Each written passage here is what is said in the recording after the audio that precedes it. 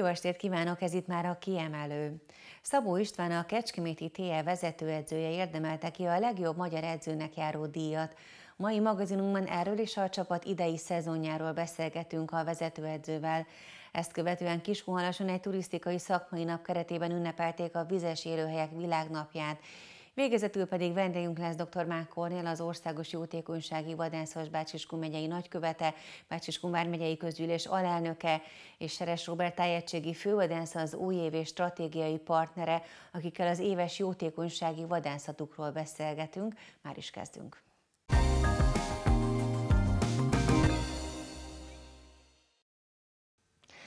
Szabó István a Kecskeméti TL vezető edzője érdemelte ki a legjobb magyar edzőnek járó díjat. Az MB1.20 szokásához híven idén is kiosztotta a magyar aranylabdát, és a szakírók egyhangú szavazatai alapján Szabó István érdemelte ki a díjat. Emellett pedig a csapat sikerrel kezdte meg a tavaszi szezont. Ezekről beszélgetünk most Szabó Istvánnal. Jó estét kívánok, köszöntöm a stúdióban. Engedje meg, hogy először gratuláljak ez az elismeréshez, amit ugye személyesen ön érdemelt ki. Mit gondol, hogy mivel érdemelte ki ezt az elismerést, mi volt ez, ami, ami miatt mindenki önre szavazott? Köszönöm szépen elsőnek is. Nem tudom, igazából nehéz kérdés, mert most magamat dicsérni, vagy, vagy ezt mondani, hogy most ezért vagy azért, úgy gondolom, vagy azt érzem, hogy a itt töltött másfél, illetve most már lassan két év alatt a csapat kimagasló teljesítmény nyújtott, és kollégáinkkal olyan szakmai munkát tudtunk végezni, ami alapján ugye elsőnek följutottunk az NB1-be, most pedig előkelő második helyen vagyunk. Ezt érzem, ezt gondolom, hogy ez miatt esett rám a választás. Előtte már volt? Beszélne nekünk egy kicsit az edzői pályafutásáról? Nagyon régre nyúl vissza, ugye Tőzsékeres Kecskeméti vagyok, Három fiam van, a legidősebb most már ugye 35 éves, valamikor 87, azt számolom 97-ben kezdődött ez a munka, KLC-be kezdett el futballozni, és úgy gondoltam, hogy én már kifele mentem a labdarúgó pályafutásból, hogy szeretnék gyerekekkel foglalkozni. Karakas Feri jó barátom, ugye segítségemre volt erre, és ott kezdődött tulajdonképpen majd licenszeket végezve.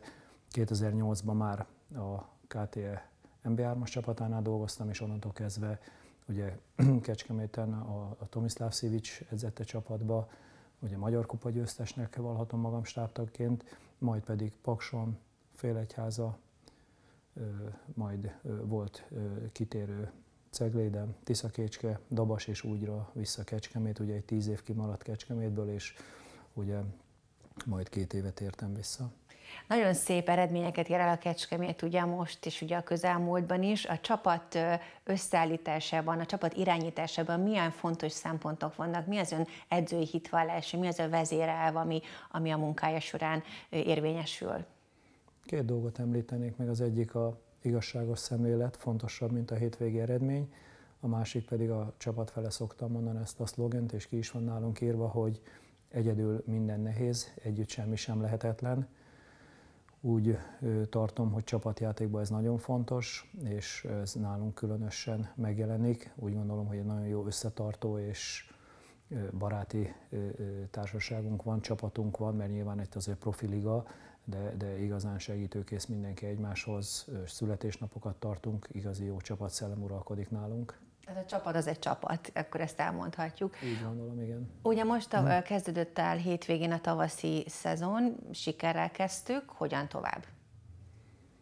Igen, nehéz mérkőzés volt, nem sok jó előjel volt a Fehérvár ellen, mert elleni mérkőzésen, mert kiesett meghatározó játékosunk, tudtuk előre, hogy két játékos eleve nem tud játszani, kettő pedig ugye az edzőtáborba se tudott velünk edzeni, mégis a csapat remekül reagált, tudták pótolni a hiányzóinkat, és én azt gondolom, hogy megérdemelten nyertük meg ezt a találkozót. Mm, a heti menetrendünk nem változott, ugye vasárnap-szombat ritmusunk volt most, hétfőn regeneráló munkájuk volt a játékosoknak, és kedden már kezdtük két edzéssel, most is ugye onnan jöttem. Paks ellen készülünk, egy nagyon szoros mérkőzést várok. Ezt, nagyon, erre számítunk, nagyon szoros mérkőzésre? Hát NB1-ben nincs könnyű mérkőzés. nincs könnyű mérkőzés, 12 csapatos liga ez, itt minden pontért meg kell harcolni, ugye két csapat ki fog esni a bajnokság végén, nagyon szoros a tabella, és mi szeretnénk benne maradni. Ugye jelenleg nagyon szép helyen áll a Kecskemét, a bajnokság végére mit satszolunk, mit kalkulálunk? Én, én, én realistaként, illetve a tulajdonosúra is azt beszéltük a szakmai igazgatóval is, céljaink egyelőre nem változtak. A biztos bennmaradás, mint főjutó csapatként vállalható cél volt, bár a média, újságírók, mindenki minket tartott egyértelműen kiesőnek, amin nem is csodálkozok, mert főjutó csapatként legkisebb költségvetéssel, legfiatalabb csapatként mi más lehetett volna, ennek ellenére eddig rá tudtunk erre cáfolni elsődleges cél jelenleg még a biztos bennmaradás, majd, hogyha az teljesül, akkor újabb célokat állítunk a csapat elé. Egyébként így, hogy ugye újon, újoncként és ugye előkelő helyen szerepel most a Kecskemét, megerősödött a média érdeklődés a csapat iránt?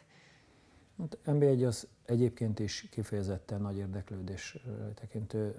Naponta hívják a játékosainkat, jó magamat is, kollégáimat, úgyhogy nagy az érdeklődés, mint mondtam, 12 csapat azért ha belegondolunk ebbe a 12 csapatba jelenleg micsoda nagy városok nem kapnak szerepet, akár a Miskolcról beszélek, Szeged, Pécs, Győr, Békés Csaba, elnézést, ha valakit kihagytam volna, de, de ezek a városok nem kapnak lehetőséget, így természetesen nagy az érdeklődés, folyamatosan követnek bennünket, ami normális, ez, ez, ez, ezzel jár a csapat és ugye játékosok, illetve ön is ugye megteszi a dolgát. Én köszönöm szépen, hogy itt volt, köszönöm a beszélgetést, és sok sikert kívánok önnek is, és a csapatnak is a közel és távoli jövőben. Köszönöm a beszélgetést. Nagyon szépen köszönöm a meghívást.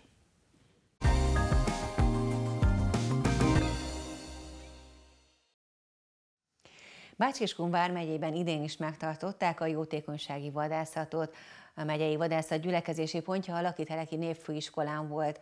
A Bácsiskú megyei jótékonysági vadászat során befolyt regisztrációs díjakkal és támogatói adományokkal a nemes célhoz csatlakozók a Bácskiskú megyei oktatókórház gyermekosztályát támogatták. Ezzel kapcsolatban vendégünk most dr. Mák Kornél és Seres Róbert. Jó estét kívánok, köszöntöm Önöket a stúdióban. Tehát ugye az országos jótékonysági vadászatról van szó, amit ha jól tudom, akkor már ez egy tíz éves hagyományra tekint vissza, de beszéljünk a kezdetekről, honnan indult és hova fejlődött ez a vadászat? Fejér megyéből indult ez az ötlet, Fejes László úr találta ki, és 2019-ig kizárólag Fejér megyében voltak ilyen vadászatok. 2019-től lett ez országos, minden megyében, illetve most már Vármegyében tartunk december 27-én egy időben vadászatokat, illetve 2020-tól nemzetközivé vált ez a program. Szlovákia, Románia és Szerbia is bekapcsolódott, és így tudunk gyűjteni a gyermekeknek adományokat. Amikor ugye országossá vált, és minden megye csatlakozott, tehát minden megyében megrendezték, onnantól kezdve Bácsiskú megye is részt vesz ebben a vadászatban. Évről évre hány résztvevője van, és legutóbb mennyi résztvevő volt a vadászaton? Igen, hát a Vármegyében, ahogy elhangzott lakitelek, a nyitó helyszín, ez volt, illetve a Kecskeméti vadászterületen. Itt közel 30 vadász vett részt a rendezvényen, de vadászaton, de hozzá kell tenni azt is, hogy ugye nyitva volt a támogatási lehetőség, akár egyéni felajánlással, hiszen jótékonyságról van szó, nagyon sokan csatlakoztak, illetve nem, Nemesnád udvarhelyen a hölgyek vadáztak, ők közel 20 ugye ők a ország különböző részéről jöttek. Itt Bács-Kiskun vármegyébe, főleg a megyéből érkeztek a vadászok, de volt egy-kettő megyén kívüli érdeklődő, jótékonykodó vadász is. Mekkora népszerűségnek örvendez az esemény a vadászok körében? Már előre érdeklődnek, előre készülnek erre, hogy a két ünnep között lesz egy ilyen vadászat? Igen, vannak olyan ö, tagjaink, akik évről évre megjelennek. Ö, nyilván minden évben vannak újak is. Hál' Istennek nő az érdeklődés, és nő az adomány mértéke is, ez nagyon nagy örömmel tölt el bennünket, mi pedig megpróbáljuk minél színvonalasabb vadászattal vendégül látni őket. Az hagyomány már, hogy a Lakiteleki Névfőiskolán van egy gyülekezés? Igen, egy elképes, tehát egyrészt tényleg azt hiszem, hogy a zöld környezet maga, hogy nem egy településen, hanem egy kis szigetként jelenik meg a Hungarikum liget, hagyományosan most már a kezdés szinte ott van. Másrészt, a, ugye, amikor a vadkiterítés megtörténik, tehát vége a vadászatnak, akkor egy nagyon szép lehetőség, hogy a, ott történjék meg a záró akkordja a vadászatnak. Lezsák elnök úr is nagyon nyitott a jótékonykodás felé. Azt még nem mondtuk el, hogy ez milyen típusú vadászat volt. Ez apró vadra, tehát főként fácánra, tehát apró vadas társas vadászat, ahol ugye ennek a bevétele tudja segíteni a lehetőséget, úgyhogy egy nagyon szép megvalósulása volt ennek. Igen, akkor térjünk is át a támogatási részére, a jótékony részére. Ha jól tudom, akkor ez egy deklarált, dedikált cél, hogy kórházakat, gyermekosztályokat támogatnak. Konkrétan hogy néz ki ez a támogatási része ennek a jótékony vadászatnak? egy kórháznak a gyermekosztályát támogatjuk. Bácskiskú megyében a megyei oktatókórház gyermekosztályát támogatjuk. Nagyon fontos cél volt az, hogy hiánypótló orvosi eszközöket szerezzünk be, tehát nem készpénzt kap a kórház, hanem egy egyeztetést követően egy eszközt, egy berendezést vásárolunk, és ezt adjuk át. Vettünk már intenzív gyermekágyat, illetve koraszülött ultrahangot is. Azt lehet tudni, hogy most idén milyen eszközt be van szüksége a kórház, mit jelöltek meg? Hát mindig, a, amire szükség van, tehát mindig van olyan eszköz, ami megjelenik ugye a egészségügyi piacon, ez lehet akármilyen vizsgálóeszköz, akár ágy, ahogy elhangzott a legújabb technika szerint. Ezt most fogja megadni felénk a kórház, illetve a gyerekosztály vagy koraszülött osztálynak a vezetősége, és a, hát, ahogy említette fővadász úr, ugye mi vesszük meg, illetve a jótékonysági szervezet veszi meg az eszközt, és tavasszal kerül átadásra, de bizonyos vagyok benne, hogy megint egy hiánypótló eszköz lesz, ami a legkorszerűbb. Tehát a pénz elköltése még hátra van, Így és van. májusban lesz az átadás. Beszélhetünk az összegekről, hogy idén mennyi jött össze támogatásból, illetve regisztrációs díjból? Így van, bruttóban 3,5 millió forint jött össze. A költségek levonása után megmaradó részt fogjuk tudni az eszközvásárlásra elkölteni, de ez is lényegesen magasabb összeg, mint eddig bármikor amit Tehát tudtunk. az idei az most rekord? Igen, ez a legmagasabb. Többet? Így uh-huh. van. Független attól, hogy nagyon nehéz gazdasági környezetben élünk, ettől függetlenül ez az adomány, ez meghaladta minden eddigi mértéket. Akkor maradjon meg ez a mérték és ez a tendencia, mert hogy jövőre is lesz ugye ilyen jótékonysági vadászat, tehát 11 is lesz. Mikor ö, szoktak erre jelentkezni a vadászok, mikor kell erre figyelni, hogy két hónap között lesz egy ilyen vadászat? Ugye ez eddig klasszikusan tavasszal, bocsánat, ősszel kezdődött, tehát szeptemberben került meghirdetésre hogy lehet jelentkezni, de lehetséges, hogy már korábban is elkezdődhet ennek a szervezés, ez ki fog derülni, de legkésőbb össze ennek a jelentkezési lehetősége a szervezés elindul, és mindig egy fix napon, tehát karácsony után december 27-én van a jótékonysági vadászat. Jó, ezt akkor minden vadász írja be a naptárába, és úgy ennek létszámbeli korláta nincsen. Tehát egy társas vadászat azért nyilván valamilyen létszám limit van, de ha nagyon sokan jelentkeznek, akkor is megoldható? Igen, több vadásztársággal is kapcsolatban vagyunk, vannak vadászterületek, amelyek tartalékban vannak, és hogyha többen jelentkeznek, akkor mindenkit ki tudunk szolgálni, mindenkit tudunk fogadni. Én köszönöm, hogy itt voltak, és erről a szép hagyományról be tudtunk számolni, és beszámolunk majd az eszköz átadásáról is. Köszönöm a beszélgetést. Köszönjük szépen.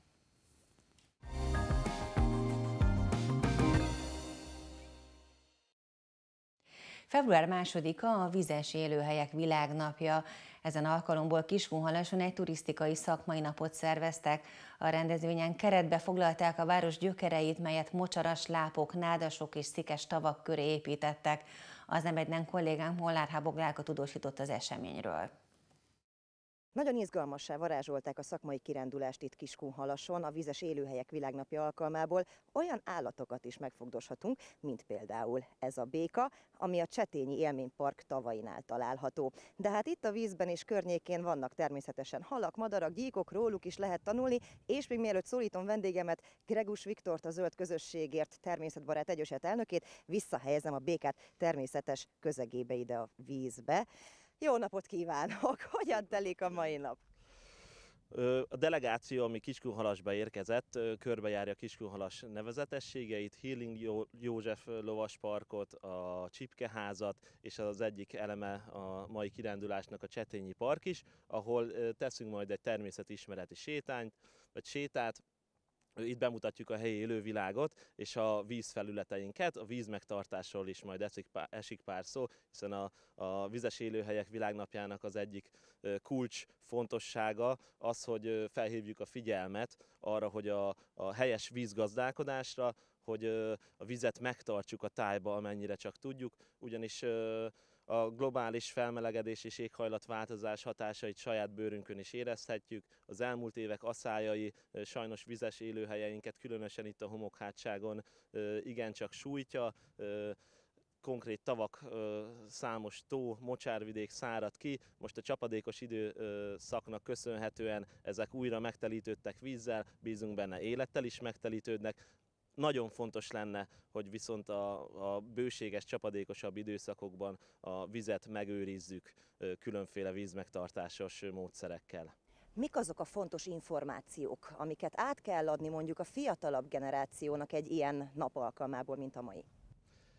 Hát a fiatalabb generációt leginkább ugye az élővilággal tudjuk megszólítani, pont ahogy előbb a, te is fogdostad a békát, az ő érdeklődésüket ez kelti föl leginkább. Az élővilág bemutatása az, ami az, ami talán a legfontosabb. Persze aztán beszélgettünk majd a túránk során itt is, hogy milyen módszerekkel tartjuk meg a vizet. Ez is egy záportározó, egyébként a, a városnak a, a csapadék rendszere a környékről ebbe a záportározóba, Csetényi tóba folyik bele, és akkor ennek az élő világát fogjuk majd bemutatni. Gregus Viktornak köszönöm szépen. A Csetényi Emlékpark 18 hektáros területén több tó is található, amely mentén számos attrakciót alakítottak ki, többek között vízi bivajrezervátum, vízfeletti madársétány, kalandpark, illetve egy csónakázótó is várja a látogatókat.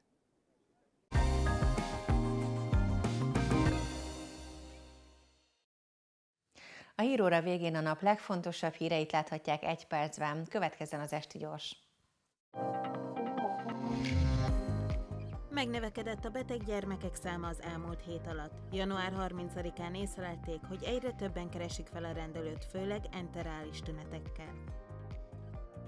A Neumann János Egyetem gazdaságtudományi karának kínálata szeptembertől a turizmus vendéglátás szakkal bővül. A gazdasági szereplőknek egyben leendő gyakorlati partnereknek mutatták be ma az egyetem lehetőségeit a kampuszon. Meglátták az árnyékokat a Kecskeméti Vadaskert örvös medvéi. A hiedelem szerint az azt jelenti, hogy a tavasz még várat magára. Az állatkert maciai ebben már nagyon tapasztaltak, ugyanis idén 30 éves a pár. A téli bezárás utáni első bemutatójára készül a Cirókabáb Színház. Az Egy szem, két szem, három szem című előadást jövő szombaton mutatja be a társulat. Január 1-től az uniós előírásokhoz igazodva változott a munkatörvénykönyve. A részletekről tartottak ma előadást a Bács-Kiskun megyei kereskedelmi és iparkamarában.